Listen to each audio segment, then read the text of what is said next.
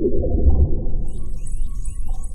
Leo ikiwa Family Thursday, tumekuandalia mambo mengi sana, mambo mazuri ndani ya nyumba, na leo hii tunataka sisi sote tuweze kuinuka na kuangamiza uh, hili jinamizi ambalo limemaliza familia nyingi sana, vita katika familia, kukosa kuelewana katika familia, watoto wanapiga ama wanachokoza wazazi wao, wazazi nao wanatesa watoto wao. Haya mambo yote yanatendeka katika familia, na ndio maana leo nikaamua, jamani, wacha nikamtafute marriage counselor, mshauri wa ndoa aweze kusema nasi, na vile nilivyokuambia ah, na hata vile ambavyo umeona kwenye post yetu tangu jana ni kwamba leo tutakuwa naye dada Caroline Angila. Niruhusu nimkaribisha ndani ya nyumba ili tuweze kuendelea. Karibu sana dada. Asante sana dada Celeste. humble home.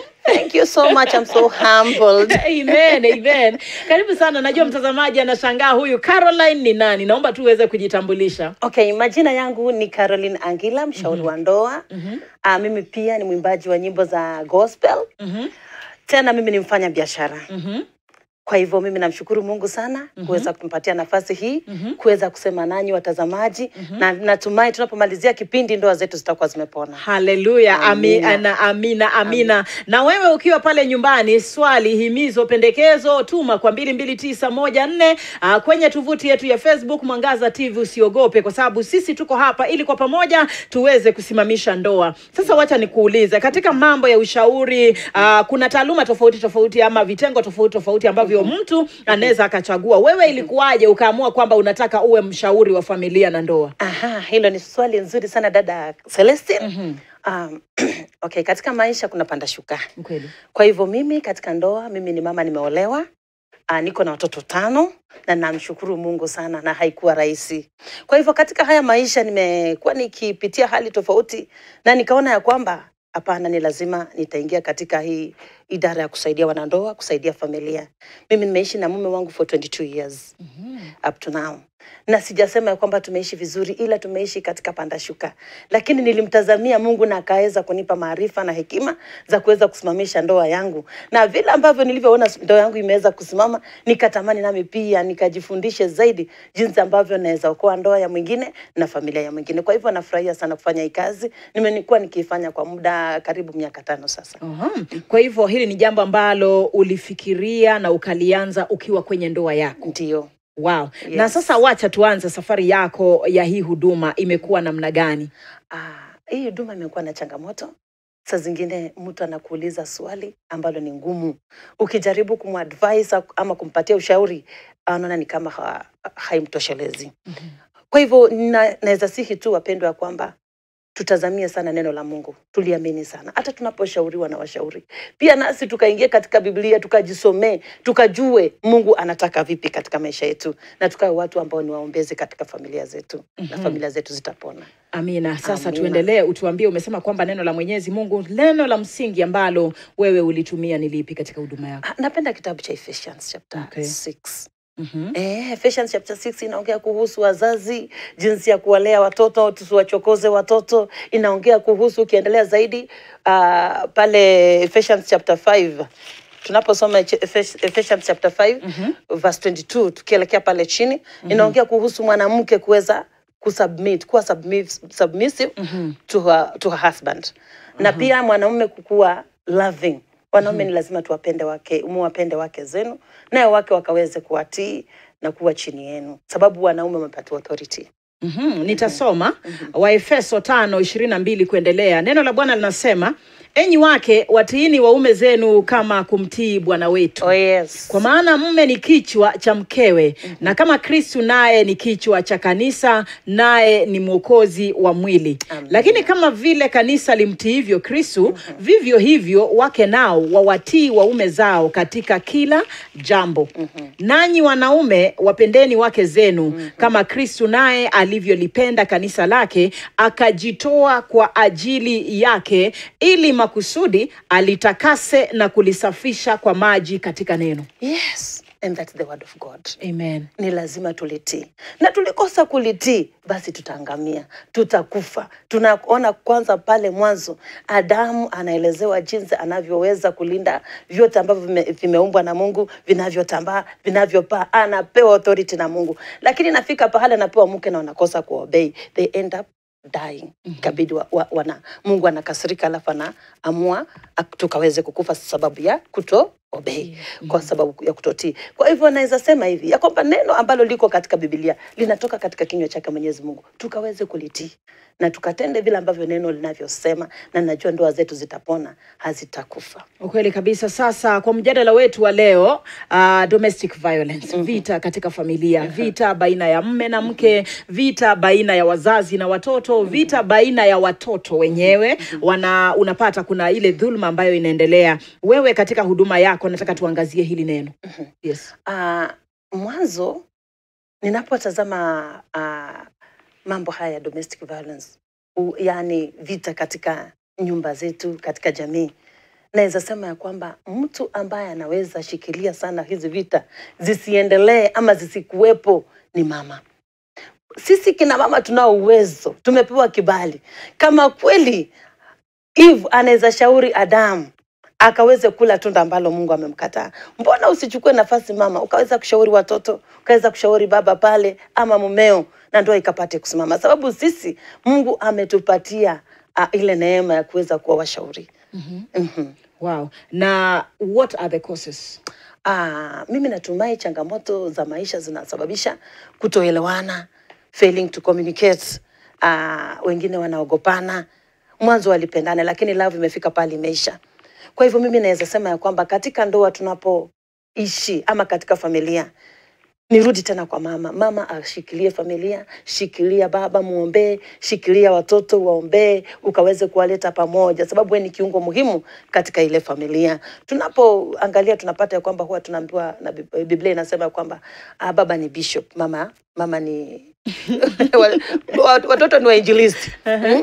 Kwa hivyo wakati watoto ni wainjilisti, baba ni askofu mama ni mwe, watoto ni wanasemangaje? Nimesahau. Baba ni mwinjilisti. wimbo, eh? Kwa hivyo acha mama akachukue sehemu yake, wacha baba akachukue sehemu yake, na ndoa itapata kusimama. Na hata watoto nao pia wanapata elimu kutoka kwa mama, sababu mara nyingi baba haukui na watoto. mm -hmm. Ni mama anayewachiwa majukumu ya kulea watoto, ajua wamekula vipi, wameishi vipi. Kwa hivyo mara nyingi sisi wamama huwa tunabebeshwa mizigo ambazo ni zetu, ni lazima tuzibebe, sababu wakati watoto wanapopotoka ndoa nyumba ime, ime, nyumba itaharibika na nyumba itaangamia. Kwa hivyo nasema hivi ya kwamba kina dada, kina mama, tusilegeze msimamo wetu katika kuomba, licha ya kupitia mambo magumu. Simama na nyumba yako, licha ya mume wako kukupitishia katika hali ngumu, simama na nyumba yako, mwombee zaidi, na usimwombee mabaya, mwombee mema, ombea watoto, mwambie uzuri wa baba, na wewe pia jikubali jinsi ulivyo, na ndoa zetu na nyumba zetu zitasimama.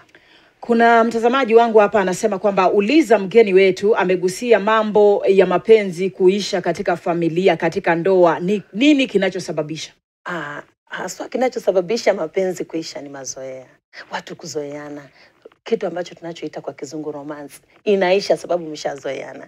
Lakini wakati tunapoirejesha, mimi naweza omba sana wasikilizaji mnaonisikiza, haijalishi umezeeka, hakuna kuzeeka, leta ile romance katika ndoa, na ndio mm -hmm. kiungo muhimu zaidi, ukaweze kukumbatia mwenzako, mkaweze kujuliana, mkaongee mambo ya kindani, uhusiano wenu ukawe dhabiti, na mnapokosa kuongea, basi mapenzi yanaanza kufifia. Ongeni tu chochote, vile ambavyo mmeshinda, vile ambavyo mmepitia pahali, ukaona jambo fulani likihappen. Usifike kwa nyumba tumechoka, unanyamaza, mama ananyamaza, baba ananyamaza, watoto wananyamaza. Hapo ndio upendo unapoanza kukufa na watu wanakuwa confused kwa nyumba na vita zinaanzia hapo. Mtu akiuliza swali kidogo tu, unapata mwingine na raise voice kwa mwenzake akimjibu kwa njia ambayo si nzuri, na hapo ndipo mapenzi yanakufa, vita zinaanza kwa nyumba. Na sasa tufanyeje ikiwa mimi ni mwanamke katika familia na mme wangu anapenda vita?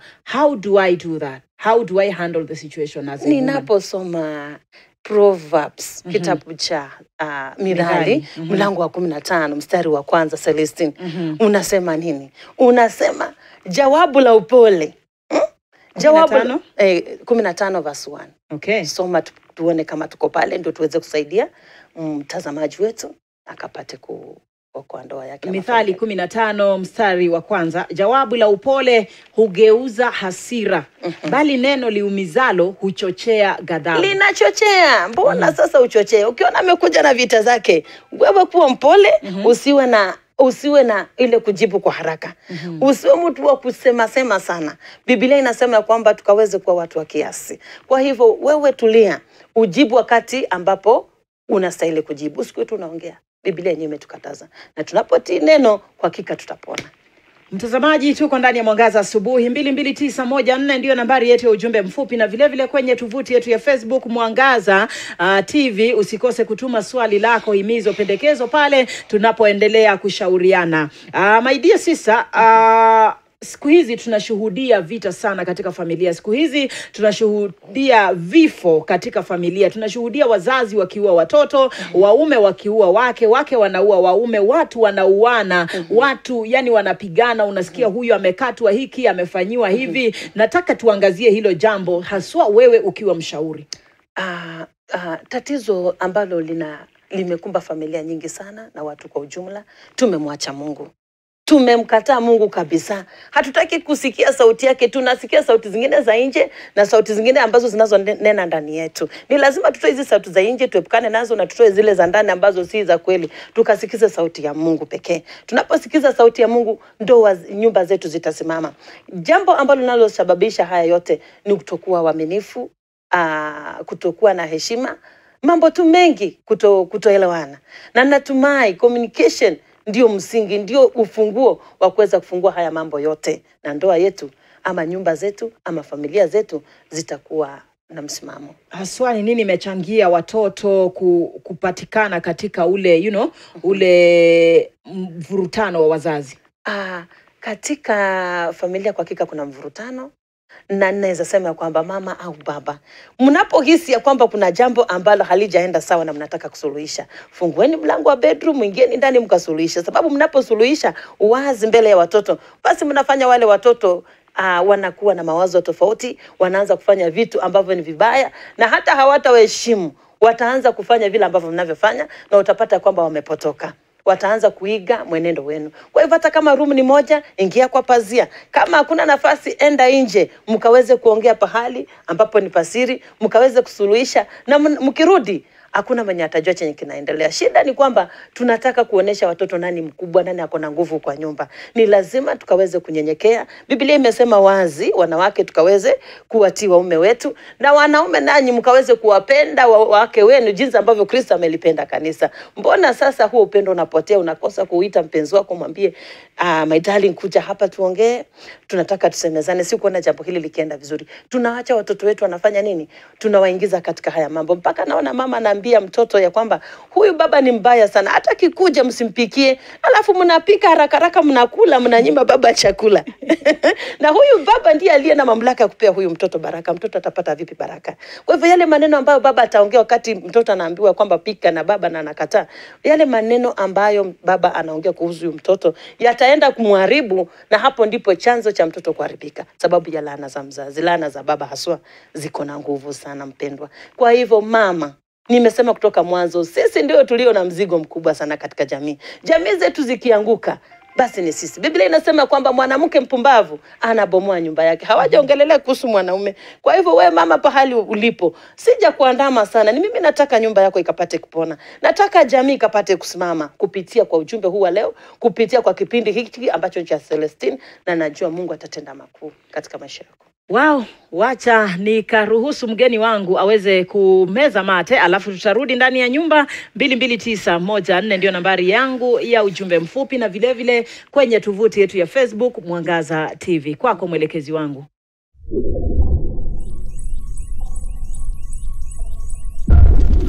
Pokea sifa e Mungu ndani ya Mwangaza Asubuhi. Karibu sana tena sana katika awamu hii uh, ya pili tukiwa na mgeni wetu Caroline ndani ya nyumba ambaye anatueleza kiundani kuhusiana na vita na kutoelewana katika familia zetu, vita baina ya wazazi, vita baina ya watoto, vita kati ya wazazi na watoto, na haya mambo yote ni mambo ambayo yanatuathiri, na kama hayaja kuathiri unaona wengine wakiathiriwa. Je, tutaweza kuwasaidia namna gani? How do we help out. How do we step into the situation na tuweze kuhakikisha kwamba amani inapatikana katika familia zetu? Endelea kutazama na endelea kusema nasi. Unaweza uliza swali unaweza changia kwa mbili mbili tisa moja nne. Uh, yapi ambayo unadhania kwamba yanachang, yanachangia sana? Sema nasi pale kwenye tovuti yetu ya facebook mwangaza tv karibu sana tena sana mgeni wetu tuendeleze mada yetu ya leo. Asante sana. mm -hmm. Ah, vile ambavyo tulivyokuwa tukiendelea Mm, naweza kuwa naongea na mtu pale ambaye anapitia katika hali ngumu na ameshindwa cha kufanya. Mm -hmm. Nikuelezee dada yangu ama ndugu yangu ya kwamba mm -hmm. kama umefika pahali umefika katika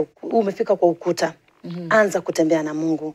Mungu, Biblia inasema kwamba Mungu ako karibu tutakapomtafuta. mm -hmm. Tunaposoma Isaiah 55 mm -hmm. inasema ya kwamba atafuta Bwana mandamu anapatikana yes.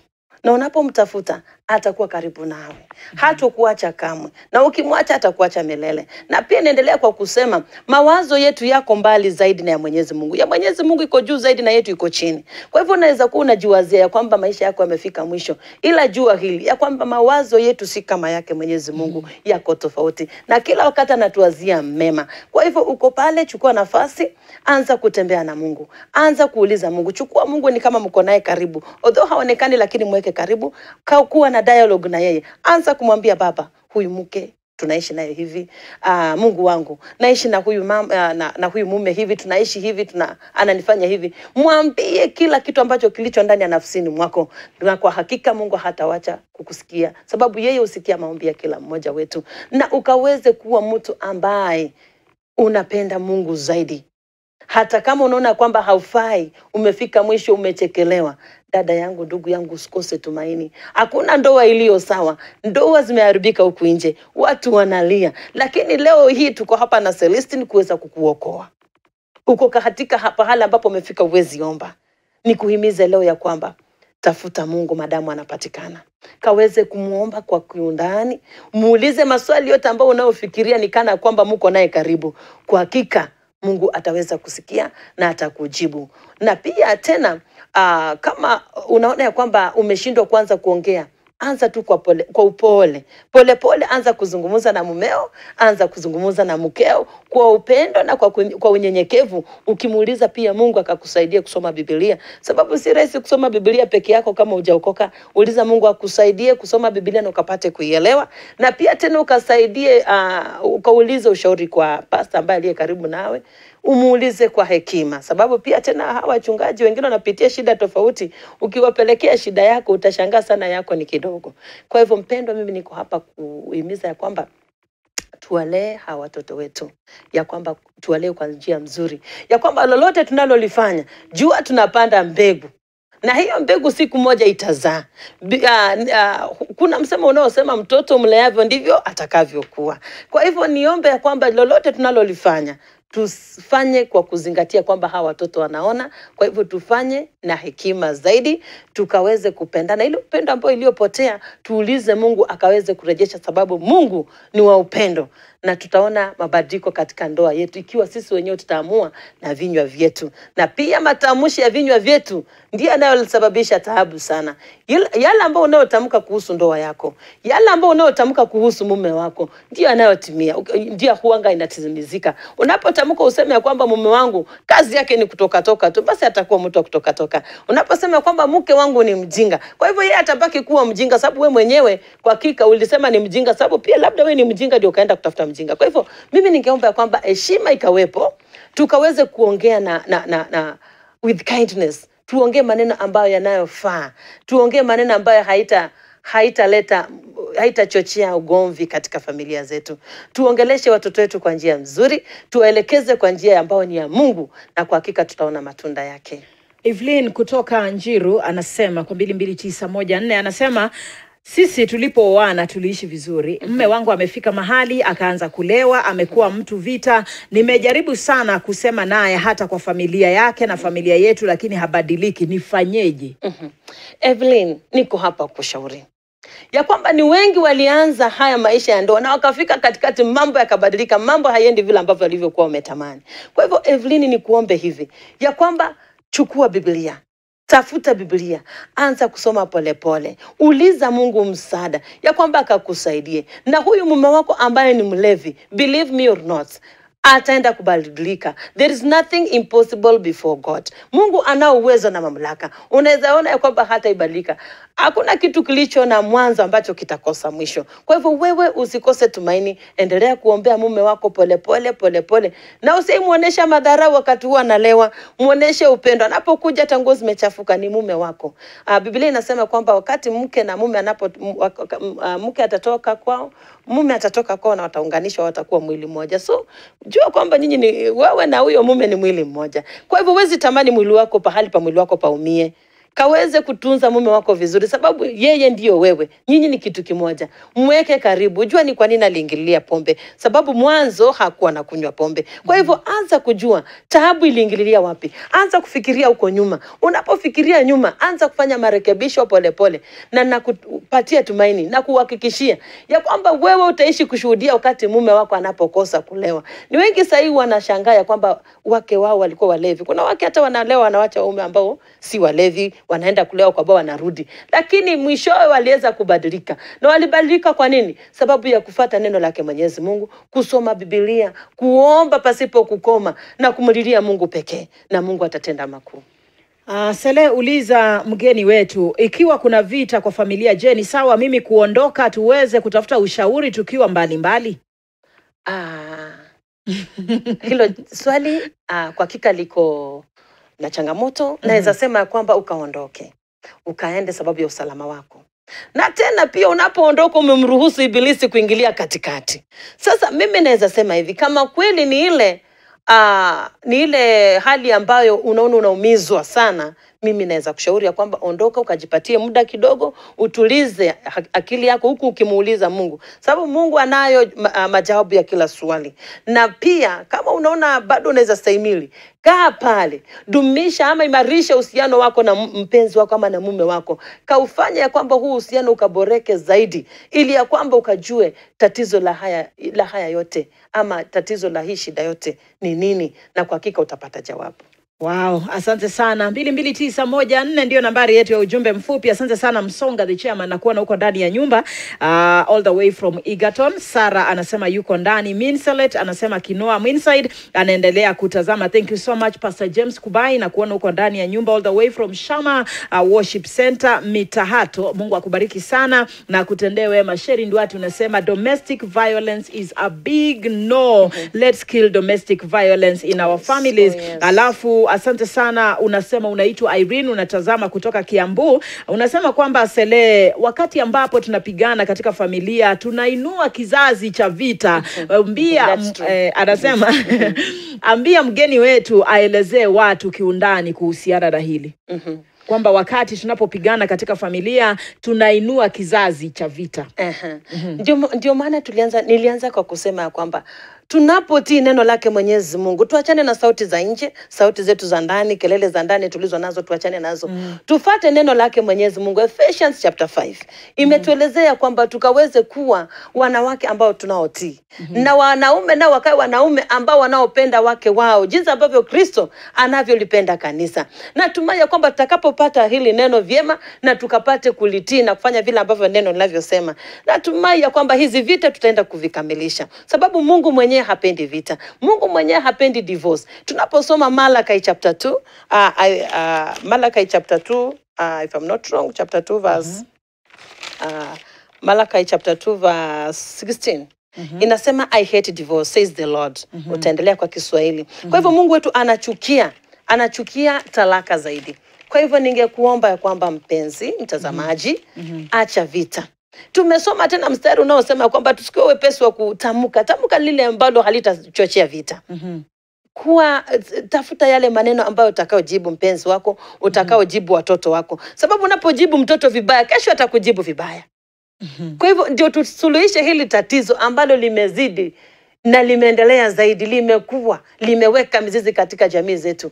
Wache tuanze na sisi wenyewe tukajisemea kwanza, kwamba kuanzia leo nianze kutembea kwa upole, nikafanya uhusiano wangu na Mungu kawe mwema, nikaanze kuongea maneno ambayo haitachochea vita na natumai ya kwamba utaanza mwanzo mpya katika familia. Kama mume alitoka pasipo kuongeleshana, mtext ka text, mwambie babe I love you, darling I love you, hapo alipo mpaka ashtuke. Na kama wewe ni mke ambaye na kama wewe ni mume ambaye mke alitoka amkuongeleshana, kuna wengine hata wanaandikiananga barua na unaacha kwa meza, amtaki kuongea one on one. Mi naweza shauri hivi ya kwamba mtext, simu ziko. Mtext mwambie nakupenda sana. Ha? nasikia vizuri. Ni wewe tu sijaiona mwingine. Ni wewe tu you are my queen. Sababu uh, usisi kuwa tunasema kwamba uh, he's your, he, she, is, he, she is your queen. Na wengine wanasema he's my, he, she is my, he's my king. So kama wewe unataka kuwe mfalme wako si ujifanye hata wewe pia mfalme. Act kama mfalme. Lakini my dear yanawezekana iwapo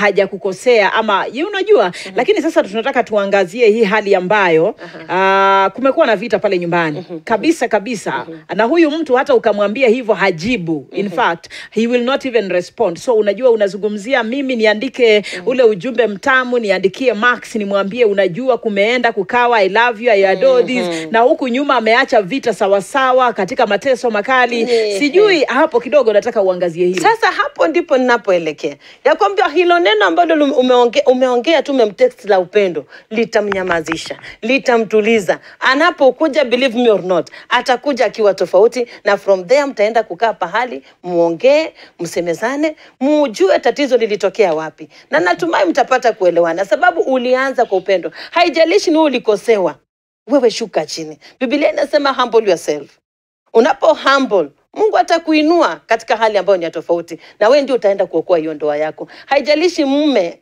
amekutendea nini wewe nyenyekea muone kama ni mwili wako mpende. Sababu wakati mguu inachafuka kwanga unaiosha unaisugua ukirudia. Sasa chukua mume wako ni kama hiyo mguu.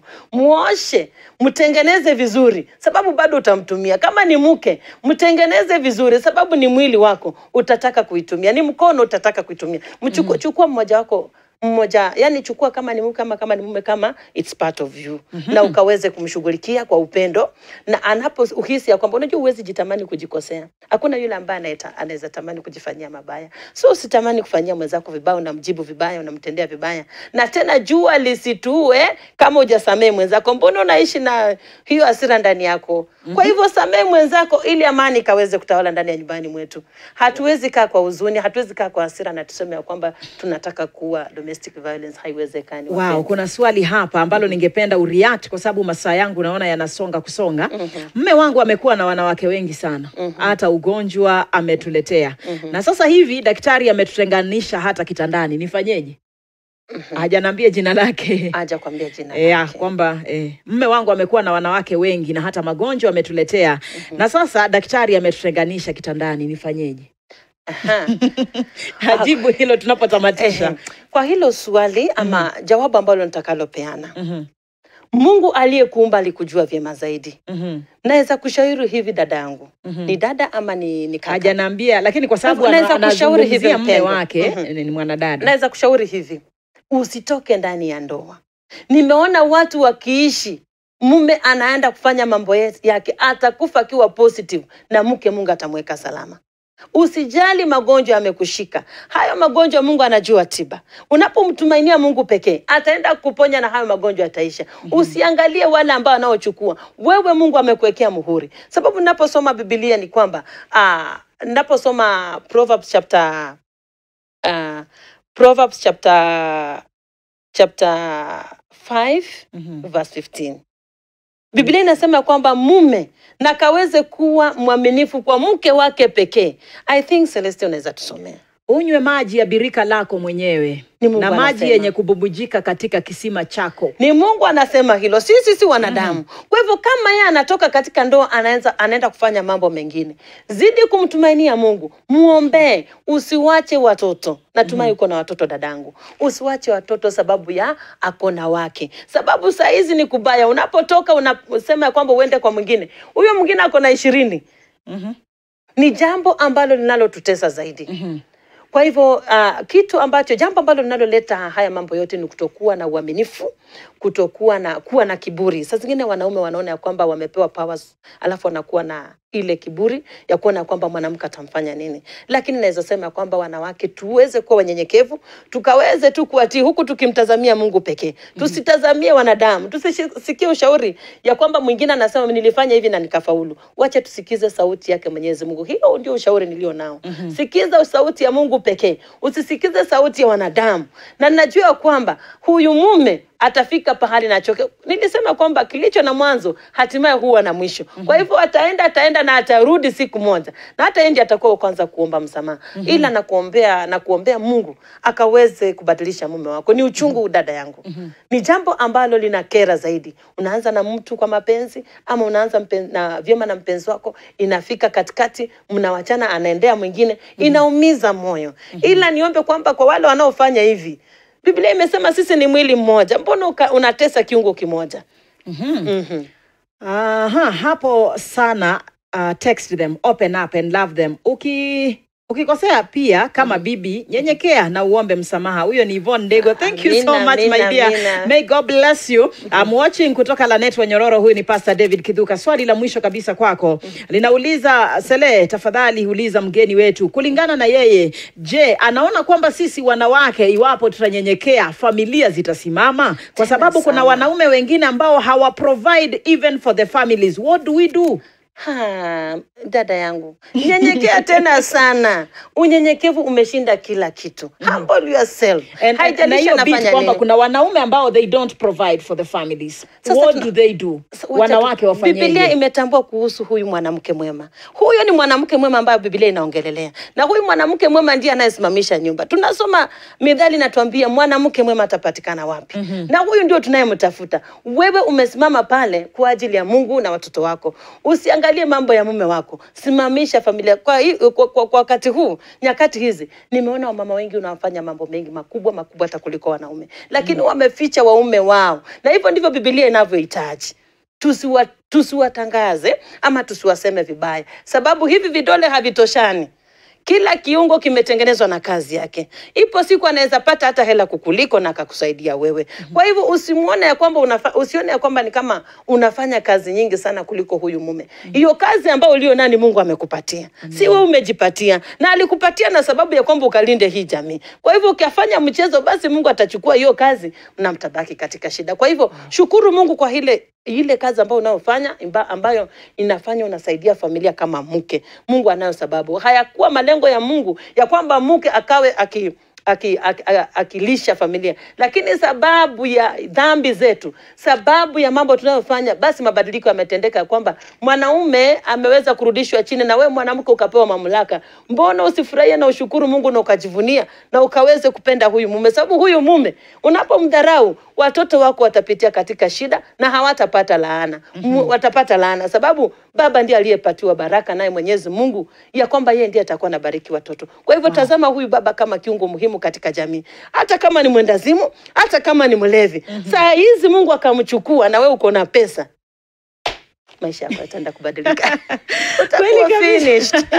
Asante sana, asante sana. Yani ningependa sana tuendelee, ningependa sana tuendelee kwa sababu naona mjadala umechacha kuchacha, lakini masaa yangu ah, ah, yamekataa tena sana. Asante sana mami kwa kuja. Asante Caroline, may. God bless you and do you well. so Nazidi kukuongoza na kupanua you, katika huduma hii Amen, ili uweze amen. kutumika kama chombo cha kuleta mabadiliko katika familia nyingi. Amen. Nawe mtazamaji, asante sana kwa kuwa pamoja nasi katika awamu hii ambayo nimekuwa na Caroline Angila ndani ya nyumba. 吧。